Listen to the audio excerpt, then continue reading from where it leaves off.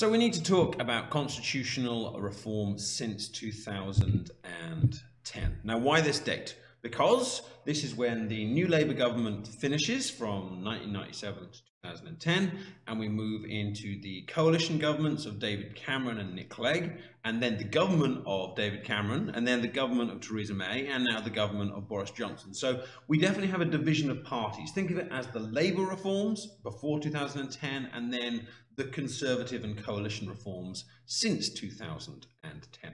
You could, in theory, get an exam question that asks you to look at um, uh, reforms before 2010 or after 2010 because it, and even since 2015 as well because they are specifically named on the examination and specification so you do need to know what the reforms are both before 2010 and after and where they go in case you get a question that asks you to look at particular ones so um, as always, after this video, you need to do some further reading. You've got the textbook uh, references ab above me above me here, um, and there's various other web links that you can look at. Um, come go and speak to your teacher um, for further things, and of course the news, because constitutional reform is going on um, around us as we speak. So which reforms are we going to be looking at um, in this video. I'm just going to give you the brief overview and then we're going to go through one by one and fill out lots of extra detail and improve your understanding and evaluation of them. Because you need to know what these reforms are and you also need to know to what reform, uh, to what extent they have been seen to be successful because,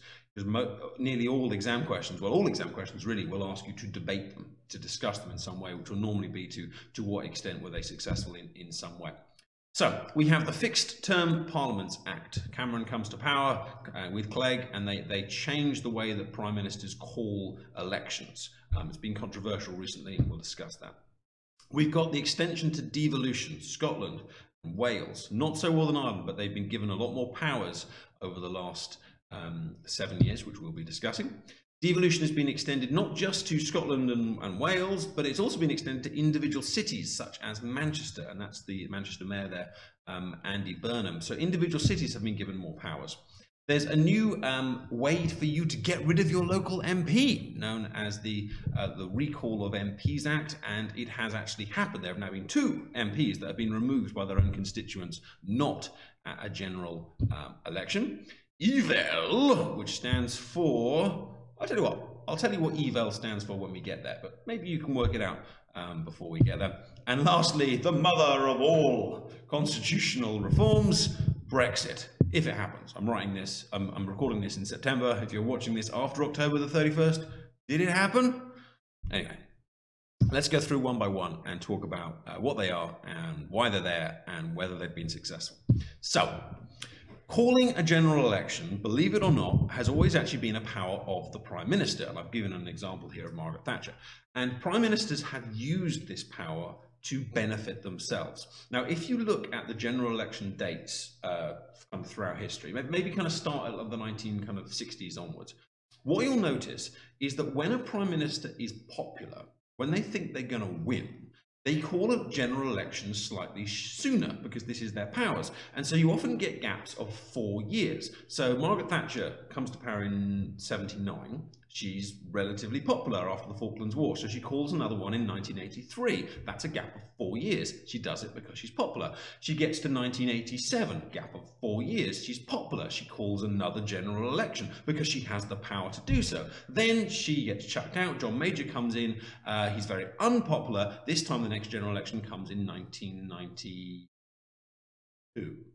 She's because he's unpopular. He doesn't think he's going to win, so he extends out that parliament for as long as possible. But he does win. He didn't think he was going to, but he does. Then he gets really unpopular. We have Black Wednesday. Uh, John Major's government starts tearing each, itself apart, and so he waits and he waits and he waits and he waits and he waits until 1997. That's a gap of five years, and he loses. He, he gets he gets he gets chucked out. Tony Blair's government comes in.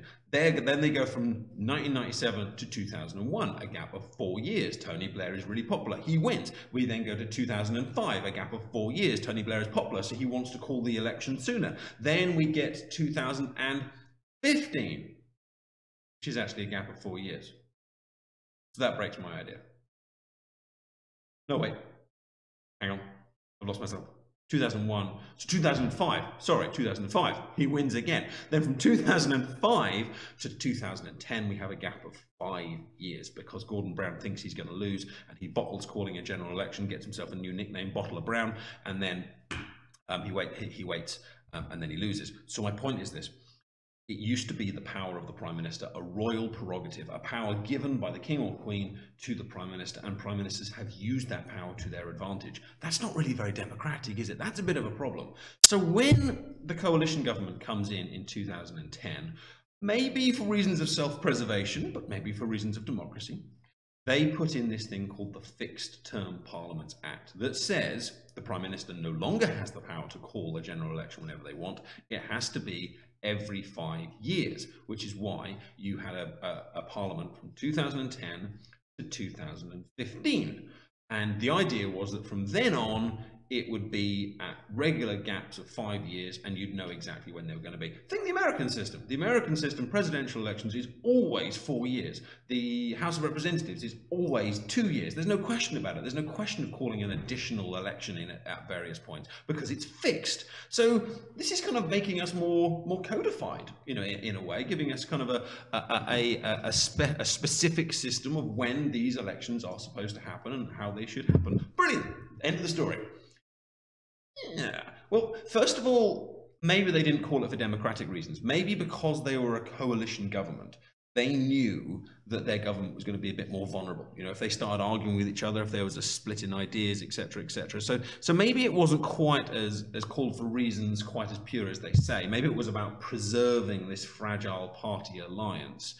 And then it really starts to go wrong in 2017 because Theresa May is two years in this parliament. So 2015, we now get to 2017. She sees an opportunity. She thinks Jeremy Corbyn is extremely unpopular, so she says, hey, I'm going to call a general election. But she can't because of the Fixed Term Parliament Act. But there's a thing in the Fixed Term Parliament Act that says if you get two thirds of MPs to vote for a general election, then you can still have one. So she goes to Parliament and says, hey guys, do you want a general election? All of the Conservative MPs vote for it because they think they're going to win.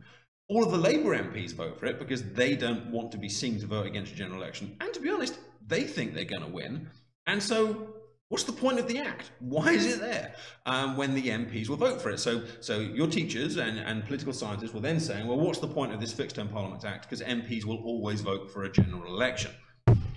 Until last week, when Boris Johnson says, hey, I want to have a general election. So he goes to Parliament and says, I want to have a general election. And this time, Parliament says, no.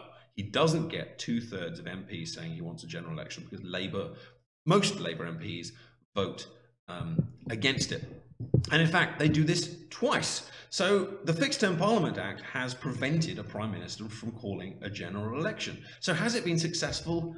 Or not. It's certainly been controversial. It's taken the power away from some prime ministers, and because Boris would have called one if it hadn't have been for this act. Um, if you want to get really messy with the with the art with the uh, the numbers, just for a second, I, I kind of like this one, so I'm going to explain it. Technically, you could get rid of the Fixed Term Parliaments Act with a simple majority in Parliament because all laws in Britain are not entrenched. So you could get rid of the whole Fixed Term Parliament Act with a simple majority in Parliament. But in theory, within the Fixed Term Parliaments Act, it takes two thirds of MPs to call for a general election. So, to call a general election, Boris Johnson needs two thirds of MPs. But to get rid of the act that requires him to have two thirds of MPs only requires 50% of MPs. Think about that one. Right. Extended devolution. Devolution is when powers are given by the national government lent to the national from the national government to the regional assemblies. We've got the, the Welsh Assembly, we've got the Northern Ireland Assembly, we've got the Scottish Parliament. Now, in, in the UK, unlike the US, devolution is unbalanced. Scotland has more powers than Wales and Northern Ireland, and there are historical reasons for this. Uh, there are also issues of kind of uh, how popular devolution was and, and, things like that. But Scotland has always had more powers, which is one of the reasons why the Scottish one is called a parliament and the other ones are called assemblies. But this has been tried to re be, be, rebalanced in recent years. So the Wales Act in 2014 gave, if I check my book here, gave the Welsh um, a, uh, devolution more more powers, the powers of uh, to control taxes and control more of the revenue from them. Um, it also meant that they could uh, hold their own referendums on various things. Then, if you remember, there was an independence referendum in Scotland. Now, David Cameron called this referendum thinking, ha, of course, Scotland will never leave. But then the polls started getting very, very close, and David Cameron thought, oh my goodness, I might lose a referendum. But of course, that would never happen. And um, they come up with this idea, which is called The Vow, which is, which is the newspaper I've got here. It was quite famous. They got all three main party leaders together, which was David Cameron, Nick Clegg, and Ed Miliband at the time. By the way, if I'm talking too fast, pause the video, take notes, digest, watch it again, etc. Um, he says they, they go to basically go to Scotland through this newspaper and they say, if you stay in the United Kingdom, we will extend devolution even further. We will give you more powers uh, to um, increase your welfare provision. We'll give you social security benefits. We'll give you power to set different rates of income tax um, and do things with VAT. Um, it also means that it also made devolution permanent. You know, the idea that the, the, the national parliament couldn't um, take, it, take them away, although Parliament is still sovereign, so that's a bit kind of more complex. But it, it, it was a promise to the Scottish people. Scotland voted to stay in the UK, and therefore the Scotland Act 2016 um, increased the powers further of the Scottish Parliament. Think Nicola Sturgeon's Parliament and Ruth Davidson, you know, their, their, their Parliament is more powerful than it was. Wales Act 2017 increases the power of Wales even further. Um, they can now rename themselves a parliament if they wish, um, as well as powers over public services. Now, Northern Ireland, question mark, question mark. I just want to put a little note here because the Northern Irish Assembly is not currently sitting as of September 2019. Um, they are a special case whereby they, they, they do something called power sharing. We're going to talk about this more in, in a future video in terms of devolution. But the Northern Irish Assembly has not had the same power extensions in the same way um, as the other two because it's not currently sitting We'll talk about it further. But if you're talking about whether this whether devolution has been a further success, you could argue it has been a success because it has they have increasingly been given more powers. You could also say that devolution has prevented Scottish independence because of the vow. Or you could argue it the other way. You could say that demands for Scottish independence have increased because they now have their own parliament and their own identity.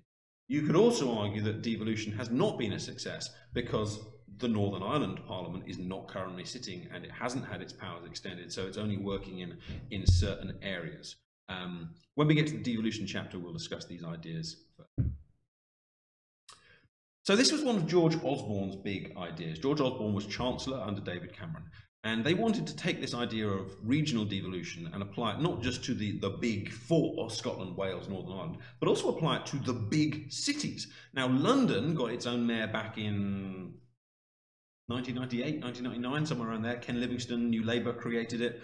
And then since then, you've had Ken Livingstone, you've had Boris Johnson, and now uh, Sadiq Khan have been London mayor. Pretty famous figures. But why not other cities as well? So they created mayors in other cities like uh, Manchester, Birmingham, um, I think Liverpool's on the way as well. Um, there's a few others around the place. and they've created these new elected mayors. Now, these cities have often had mayors, but not elected. And they also increased the powers for them. So this is Andy Mayor, who Andy Burnham, who is now the mayor of Manchester. And he is uh, has been given various powers. He's been given a budget. He's been given uh, various controls, and they're looking at extending the powers even further of these elected mayors. And I'll be discussing that. I'll, I'll be discussing that further. Um, now, police commissioners has the, the mayor thing seems to have been relatively successful. But there's been another one which has not been successful. They tried to create, or they have created, elected police commissioners. Now, these are local representatives who are in charge of making sure that your police do a good job. They're given a budget. They can hold the police to account. They can, they can. It's about making your your local law enforcement more accountable to you. That you get to elect this chief, this police commissioner who is in in charge of the police in your area. They're given a budget uh, which you pay for in your local council taxes, and they are supposed to be pretty important. However, I bet you haven't even heard of them. I bet you couldn't name your local police commissioner, and that goes for almost everyone else as well. They, um, the turnout for these elections has been minute. They've been, I think they came down to about 12% in certain areas, and they they rarely go above 15%. I think one got up to 30%, and they said that was a huge success. I mean, just think about that. 30% was a huge success. Um, they haven't and whilst I'm sure the people that are doing them are good people and they're working hard, it really hasn't taken off as like a thing that people know their local police commissioners and have um, kind of em embraced them. It's worth you kind of Googling, have a little look, because um, I bet you didn't know what they were, so it's worth just doing five minutes research to find out what kind of things they do, but also this idea of very, very, very low turnout. If you haven't come across the word turnout before, it's the amount of people that vote in an election. Um, look out of who could vote. So, so in general elections, you tend to get around kind of 60, 70% turnout because some people never vote because of their, you know, maybe they're ill or they, they can't get there. But you know, turnout is the amount of people who, who choose to vote. Business rates, health budgets. So the, the last part of city devolution is they are now starting to experiment with giving cities more power to spend the taxes raised by business rates. And in Manchester, they are now experimenting with letting Manchester choose what it does with its own health budget. The idea is to give more independence, to give more autonomy um, to these particular areas. It's starting to feel a little bit federal, which is a word that you've probably come across in when we talked about the constitution, but it's starting to feel like you've got these more and more independence in these local areas in more and more areas. These are a bit experimental. See how they go as you're taking the course, see if they appear in the news.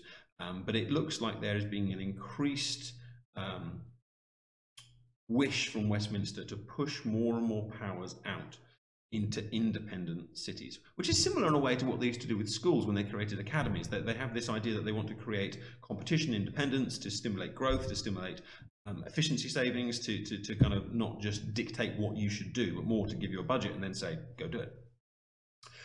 Recall of MPs. So, you have a general election, you've got an MP. So you want to get rid of that MP. What can you do? Nothing until the next general election, which is, as I've mentioned earlier, probably going to be four or five years away, depending on what's currently going on with the Fixed Term Parliaments Act. Now, what if your MP does something dodgy? Well, technically, there's still no way to get rid of them. There are certain rules about if they if they if they go to jail and, and, and things like that, they're removed. But what if you just really dislike what they're doing? Can you get rid of your elected representative? The answer used to be no, but from 2015, the answer is yes. And the way it works is this. You have to go out and you have to get a petition, and you have to get, I think it's 10% of everyone that lives in that area to vote to say, we want to recall our MP. That then, excuse me, that then triggers a, a by-election. And a by-election is like a general election, but only in that local area. Um, and it's happened, um, I believe, three times. There we go. Yeah, I was looking at I was looking at this earlier to make sure I had my facts correct. So it happened um, in 2018. It happened to Ian Paisley Jr., who is Ian Paisley, the famous Ian Paisley's um, son. He was suspended from the House of Commons for, for, for, breaking the law on his expenses, and they didn't manage to get the 10%. So they got this, they got 9% of people in the local area to to to sign it, uh, which wasn't enough to to trigger a um, a by-election. And a year ago, I was I was a little bit scathing about this. I was like, well, they've made they've made this recall of MPs Act um, and it's never happened. And the only time it's actually happened, it failed anyway. So it, it, it's a pointless reform. However, then thank you very much, some MPs, some truly some two far more dodgy MPs came along, and now we have two examples of it being successful. So we have uh, Fiona, who was a uh, she was a Labour MP, and she got convicted of various traffic offences, and the recall petition happened. It got 27% of people, which triggered the by-election, and she went, but Labour held the seat. Happened again.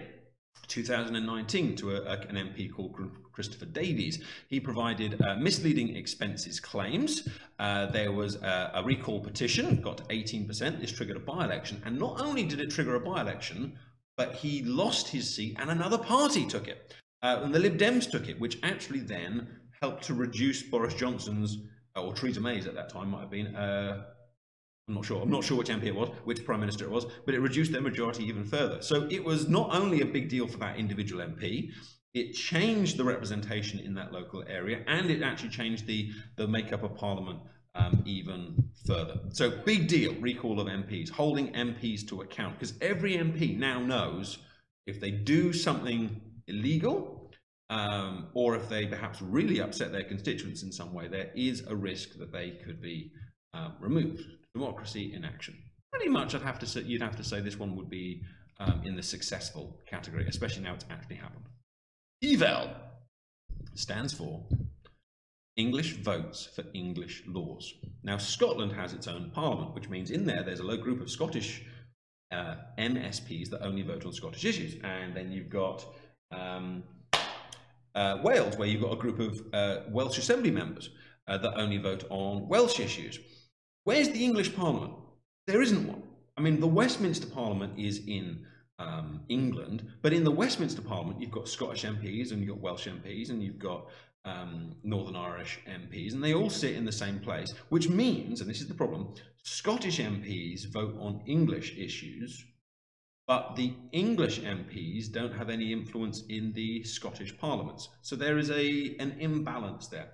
So they've created this thing called EVEL, English Votes for English Laws, that basically says, it's a complicated process, but in short, it basically means if you're a Scottish MP, then your vote on issues that only affect England doesn't count.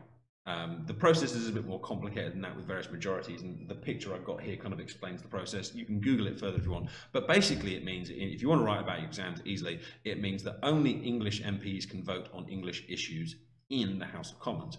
Now, this is brand new, really, only came up, I think, a couple of years ago, and it's still kind of seeing, well, how well does this work? Basically, the Speaker has to choose, is this one of these bills that only affect England? So the Speaker gets a bit of power here. You know, is this an English vote?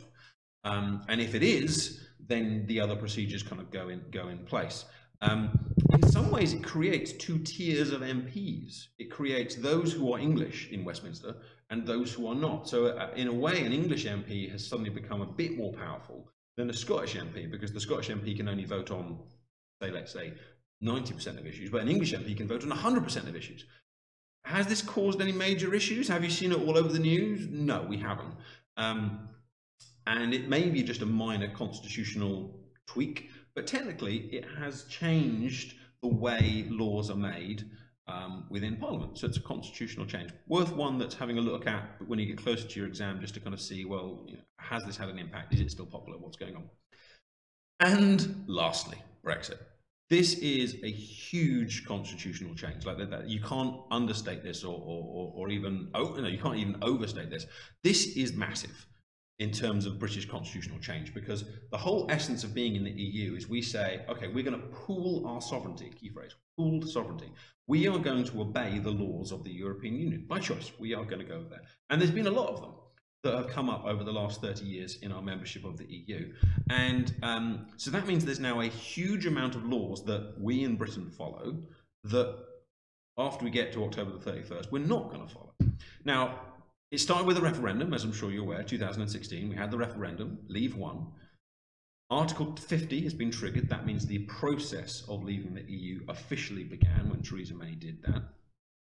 And she invented something called the Great Repeal Bill.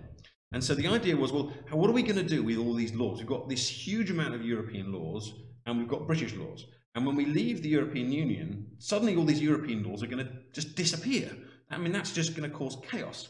So the Great Repeal Bill is the idea that you take all the European laws, a whole lot, and you take them and you put them into English law. That's a big constitutional change because you're taking all of these laws that were just coming from the EU, EU directives, and then you put them into uh, UK law. So, so you're making them statute, using that phrase there.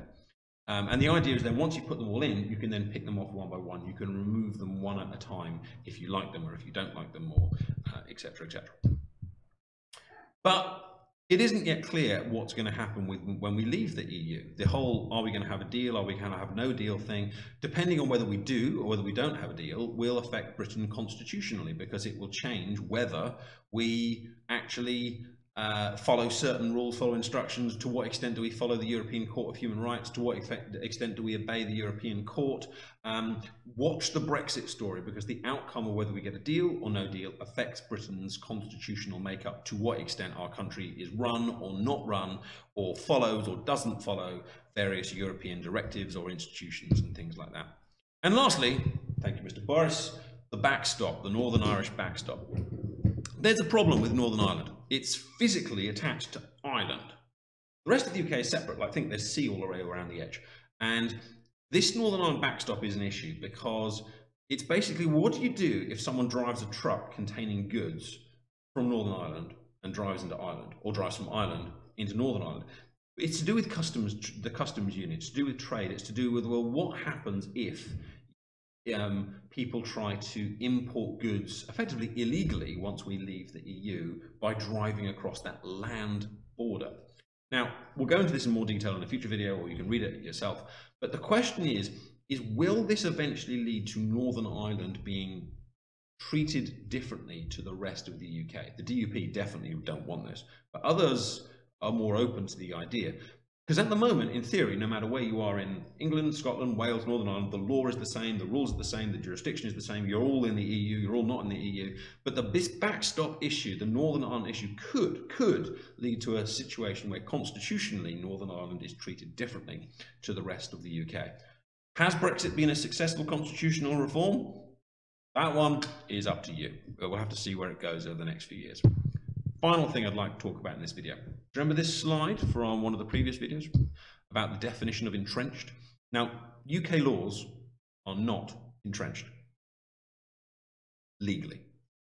There's nothing that says that we have a law which is higher than another law, the two-tier legal system. There's nothing that says here's your constitutional law and here's your other statute law. It doesn't exist. But we have started using referendums a lot more. There was a referendum on the Scottish Parliament, referendums on Scottish independence, referendums on Brexit, referendums on um, there must have been others that I've momentarily forgotten, but they, they have there have been referendums, and there's become this kind of convention that if you want to have a big change, then you have a referendum. Maybe not the minor tweak ones like EVEL, but if you want to have a new mayor, then you have a referendum to say um, that we want to have a mayor. Now, does having a referendum effectively entrench the decision? So if all the MPs tomorrow said we don't want to have Brexit, so we're not going to do it could they do that? Legally, yes, because Parliament is sovereign. Politically, maybe that decision has been entrenched by having that referendum. Maybe the Scottish Parliament, which in theory could be removed, is actually effectively entrenched. So the point I want to leave you with here is, or to think about, is does a referendum result effectively entrench a constitutional change? Is it impossible to amend that change without perhaps holding another referendum. So could you stop Brexit by having another referendum? That might be a way of doing it because you could unentrench it using the method you used to entrench it. Or in fact, could a referendum result just be ignored? Believe it or not, there have been referendum results that have been ignored in the past. Um, might be something that's worth you kind of exploring. Um, but just something for you to kind of think about. So you could make a paragraph, a very good paragraph in an essay that says Britain doesn't entrench its laws, it has no two-tier legal system. However, it does effectively entrench some constitutional changes through referendums and then kind of explore the ideas that I have there. Hope you find that interesting. Hope that you learned lots um, and um, I'll see you on the next video or in class.